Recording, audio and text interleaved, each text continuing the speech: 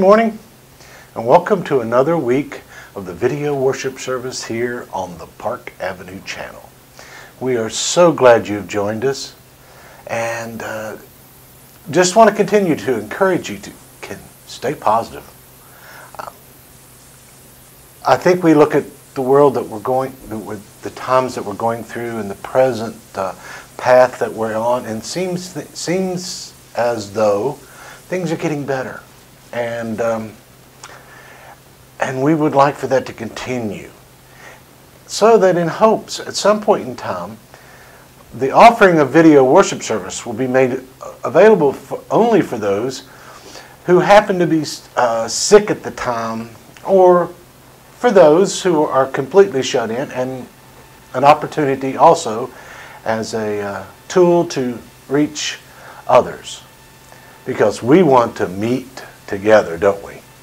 We want the fellowship and the, and the relationships that we long and at times desperately need. Today we will have some singing, a lesson, and continuation on the communion part.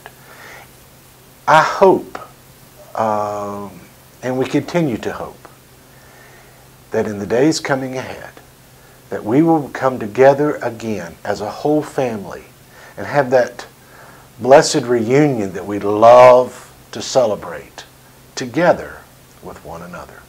Sit back and we'll see you in a few. Thanks.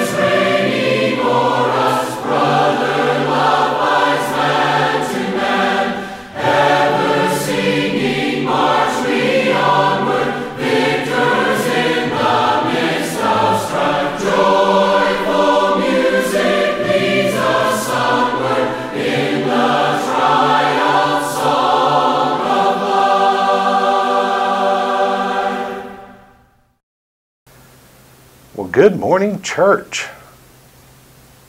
You know, it's still difficult to speak to a camera. I won't lie to you. Because you figure you say good morning, you're going to get a response back and good morning, and there's nobody here to do that for me. But what a blessing it is to again to to come to you in this way.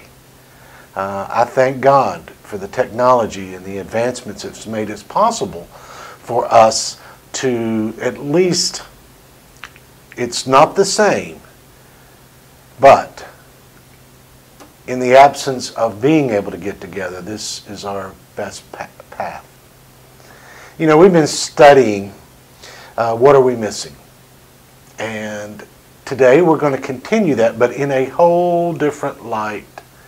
And it actually would be a kind of like a, uh, a, a discovery into some other issues. Last week in our Bible study that we have here at the building after worship here on Sunday mornings, we're studying the book of Acts. And in chapter 24, the, the class that Sean led, there was an interesting verse where Felix was uncomfortable. Verse 25 of Acts 24 states that Felix was alarmed, alarmed by what Paul was telling him and sent him away for a while. Have you ever been uncomfortable? Now, we know we have. In fact, I think today we live in a state of uncomfort. And that's where we're going to go for a while. What are we missing about this uncomfortable feelings that we're having? But the moments vary. You know that feeling when you're going into the doctor's office to get a shot? That uncomfortable feeling. Or for me, shots don't bother me. It's when they go to take blood out. I'm uncomfortable then. I'm uncomfortable in uh, certain circumstances. You get a a call from someone that uh, is irritating to you. There's uncomfortable there. There's times when you're having discussions of topics that make us uncomfortable. There are times where we're uncomfortable when someone's speaking to us about something. We are uncomfortable a lot. I'd like for you to, make, you know, in the coming days, pay attention to just how often you recognize you're uncomfortable. You know, Felix was uncomfortable in this moment because Paul was speaking to him about subjects that caused in him something to stir. Now, we all know as studying the Bible and the understanding that, as we know, the Word of God is sharp and it pierces the heart and soul of us. So we're kind of used to uncomfortable in that vein. But is there more to it than that? We don't like hearing or experiencing some aspects of our life. And that creates this uncomfortable moment. You know, John the Baptist was one of these men who stepped out in faith and, I mean, think about, he stepped out proclaiming that Jesus was coming, the Messiah was coming, and did it all in opposition from many people, but people were listening. And he dealt with his moment of uncomfortable. We're going to get to that in a minute. You know, Chuck Colson, who was one of the men that got in trouble over the Watergate with uh, President Richard Nixon, tells that there were many people that would come to the president's office and had made up their mind before they walked in the door that they were going to say to him what was dead on their mind and they were ready. They were fired up. And they would do this all out in the outer room waiting for to visit with the president. And he said as soon as they would go in,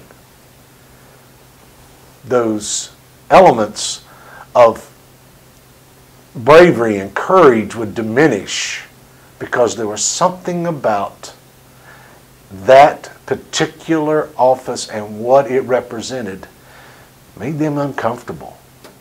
They changed their minds. Well, John the Baptist experienced some of those same things himself.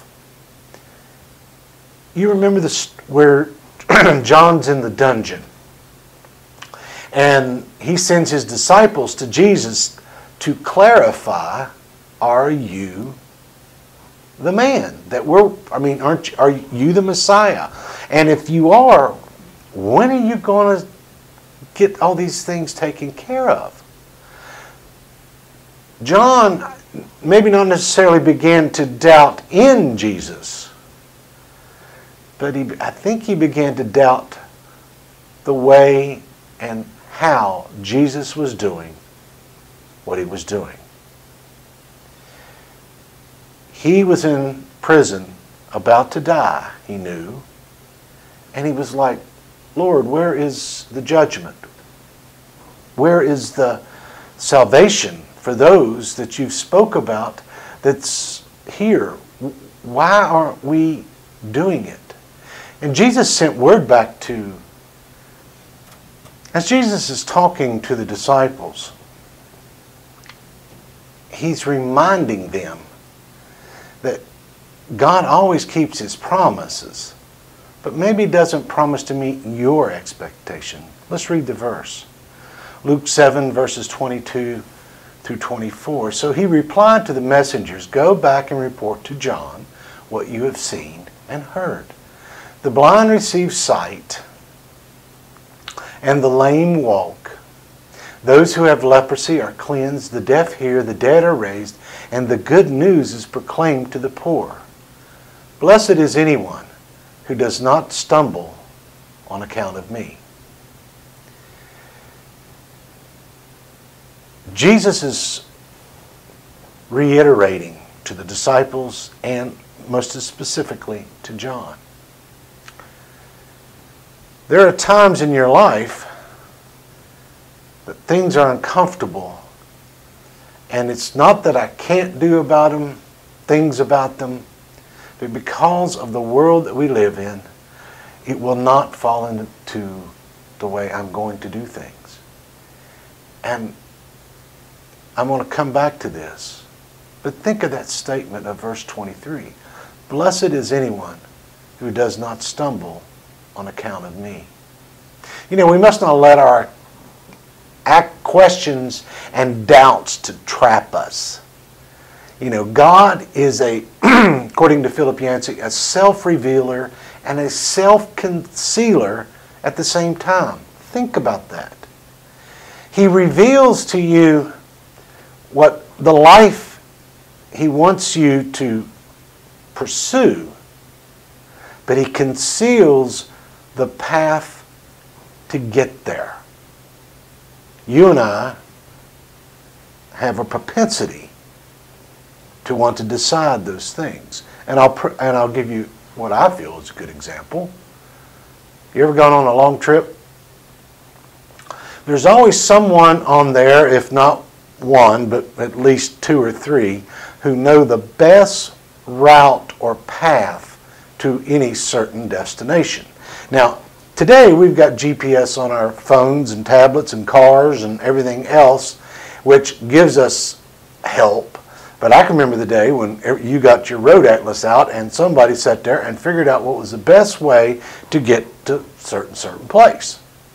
And there would be discussions and potential arguments. Why? Everyone had an idea of the path that should be taken.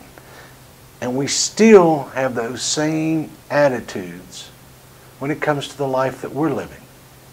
When things aren't going the way we want them to, we become uncomfortable and begin to question God's motives. You know, Jesus admitted that he, he is the source of our questions and our doubts. There's a big difference between asking questions of God and questioning God. Remember Job. In all the things that he went through, he wasn't in the beginning questioning God. He said, I have questions for God. But there's a transition because of the frustration that Job was experiencing having the discussion with these friends because they were telling him, well, you've done something. And finally he says, well, if that, you know, uh, that's unjust, and I'll talk to God about that. And then God shows up and begins to give his explanation. It's not the one Job's looking for, but it is an explanation. See, that statement, blessed is anyone who does not stumble on account of me. That is the most unique statement in the entire Bible. Because I thought our relationship with Jesus was not a stumbling block, but a freedom made available to us. But according to Jesus' statement, there is the times in your life where he is not going to do what you want him to do, and that's going to be a problem. And he said, Blessed is the one who doesn't stumble on account of me. What do you mean, Jesus? Lord? What he means, there are times that his way of doing things is not going to meet with you. But are you going to stay anyway? Are you going to stay faithful even in the idea that it's not going to happen your way. Sometimes the source of our greatest questions come when God chooses to show up in our lives, but then we observe He's showing up in the lives of others, and He's helping them, but not necessarily helping us. We must not expect God to meet our expectations. And what do you do when you have these questions and the doubts? First, we need to draw a distinction between the things God has promised us, promised us and the things we are trying to make Him promise us. There's a, in nature, bald eagles are accomplished nest builders. Their nests are usually about 50 to 120 feet all above the ground. And they ordinarily build them in tall trees, but sometimes they will use high cliffs. It takes a pair of eagles about two weeks to construct a nest. It will range from 6 to 10 feet across, and the center pocket where the eggs are laid is about 12 to 16 inches wide and 4 inches deep. And the base of the nest is made out of large sticks. Sometimes they even use thorns. On top of that base, they add softer material. Depending on what is available, they may use dead weeds, grass, or dry moss. On top of that, the eagles will line it with down, their own soft underfeathers. Now, experts say when it's time for a young eaglet to begin flying, instead of dropping a fish into the net like they usually do, the parent bird will try to coax the young one out of the nest by putting the fish on a nearby branch. Now, if this method fails, the mother or father bird will begin removing the soft material lining in the nest. This is called stirring up the nest. Before long, the young birds discover that the nest is no longer the comfortable, safe place they've always known. It's no longer comfortable leaving the nest becomes a good option. The parents stir up the nest so the eaglets will leave the nest and learn to fly. The young birds don't seem to appreciate this process. But once they begin to soar, all that pain and all that inconvenience and uncomfortable things is no longer there. I'm sure they feel better about how their parents treated them at that moment. But during the moment, it wasn't good. Moses refers to this in his book, the, um, in his song, I'm sorry, the Song of Moses. And this is what he writes The Lord found him, the Jewish nation, in a desert land and in the howling waste of a wilderness. He encircled him he cared for him. He guarded him as the pupil of his eye. Like an eagle that stirs up its nest, that hovers over its youngs, he spreads his wings and caught them. He carried them off on his, on his pinions. This is from Deuteronomy chapter 32, verses 10 through 11. See, God stirs up our lives also. From time to time, he takes the familiar nest and makes it uncomfortable from what it used to be comfortable. That's hard. That time of trial looks different. And um, for everybody. For example, it could be when loved ones leave us, or when jobs disappear, or when the health fails and our bodies are in pain. We ask the question why would God allow our lives to become so uncomfortable? The short answer is that God makes our lives uncomfortable because He wants us to experience something better. Now, I'm not going to attribute that God causes these things to happen, but He doesn't stop them either. And that's just as frustrating sometimes as anything else. Yet in Isaiah, speaking of eagles, what does Isaiah write? Yet those who wait for the Lord will gain new strength. They will mount up with wings like eagles. They will run and not get tired. They will walk and not become weary. Our attempt sometimes to re-navigate our own plans takes us out of what the Lord was using to take us to a moment or a place that was uh, majestic. Can you imagine what eagles see? When they fly above everything and the overwhelming accomplishment of look where you are. We can experience the same thing. And in 2 Corinthians, Paul writes, Therefore, if anyone is in Christ, he's a new creature. The old things passed away. Behold, new things have come. Do you think that transition from old to new just like that happens? No. As Paul writes, says also, I, I think it's in the same passages, same section, that he dies every day. You and I have to have our nest stirred. Otherwise, we will stay there and not move on to the next place that God wants us to have. You may need you may you need to be made new because your iniquities have a separ- that make a separation between you and your God, and your sins have hidden His face from you. That's from Isaiah 59 2. That separation may not seem like a big deal when things are going well in your life. When life falls apart, though, you begin to realize how vulnerable you are and that you need someone strong and loving to be with you and to take care of you. That discomfort makes you realize how much you need God. That is why Jesus said, Abide in me and I in you. And as the branch cannot bear fruit of itself unless it abides in the vine, so neither can you unless you abide in me. John 15, verse 4. You can't fly like an eagle without God. With God's strength, you can soar above your own circumstances instead of just hunkering down with your familiar comforts. You can find joy and peace in Christ. Be anxious for nothing but in everything, by prayer and supplication with thanksgiving, let your request be made known to God. And the peace of God, which surpasses all comprehension, will guard your hearts and your minds in Christ Jesus. Philippians 4 6 through 7. See, we need to keep our eyes on the end result that God wants us to have. And all discipline for the moment seems not to be joyful but sorrowful Yet to those who have been trained by it, afterwards it yields the peaceful fruit of righteousness. Hebrews 12 11. Give your life to Christ.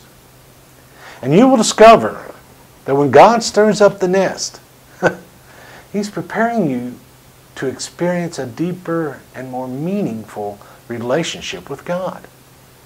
God satisfies your years with good things so that your youth is renewed like the eagle. Psalm 103, verse 5. You and I are prepared for someplace better, and we're being prepared for someplace better. But it doesn't happen with a flip of a switch because we weren't made unrighteous at the flip of a switch. It happens over time. Habits always take time. Ask anyone who's made a change in their lives, whether it go from dieting, health-related exercises, quit smoking, quit drinking, whatever it may be. Everyone knows there's an experience, there's a time where suffering is mandatory. But what's at the other end? Ask anyone who's gone to the other side, to, to that place they're striving for, and ask it, any of them, was it worth it? And every one of them will say, oh yeah. Did I like it in the middle? No. But it was worth it. You and I, let's quit running from these uncomfortable feelings and let God use them to move us to someplace better. We look forward to seeing you again next week. And if there's anything that we can do to assist you in any way, please do not hesitate to give us a call, text, email, whatever.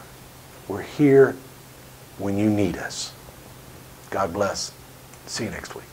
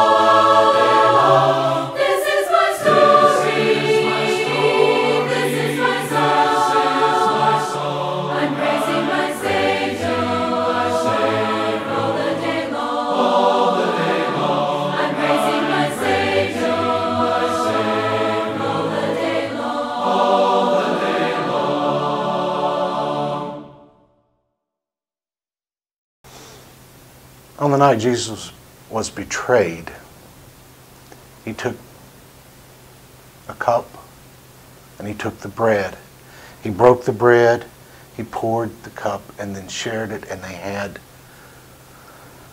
for as our understanding, the first communion service as it relates to what the concept of Jesus is. We just got through talking about suffering and uncomfortable. It's uncomfortable to take a gift from someone. I mean, we've all experienced it. When someone gives us something, the first thing generally our reaction is, Here, let me give you something in return for it. We don't like receiving anything for free. But as Jesus was explaining to Peter as he was washing his feet, unless you let me do this, you have no part of me. Unless you and I freely accept the gift and understand the importance of what Jesus did and not take any credit for what we're doing, we miss the connection of this communion. We desperately need in our lives, we needed the grace of Jesus Christ. We needed the mercy that was afforded us on that cross and in that resurrection moment, which demonstrates to us this other side of suffering, this new life that we want. As we partake of this bread and as we take of this cup, let us be reminded every day of just how wonderful this moment is to have in our lives to know that the debt we owe has been paid. And it was all because of Jesus Christ. Let us pray. Our Father which art in heaven, we approach your throne of grace, mindful of the fact, Father, that our even being here was afforded to us because of the blood of Jesus Christ. And Father, we thank you so much for loving us enough to send him. And Lord Jesus, we can't say enough to thank you for the gift of your own obedience and submission that allows us to have relationship with you as a brother and as a Lord and King. Help us to understand. Bless this bread and bless this cup as we partake, Father, and remind ourselves of the love and devotion of our Lord Jesus Christ. And it's through him that we pray. Amen. God bless, and we look forward to seeing you again next week on this particular service. Thanks. Have a great day.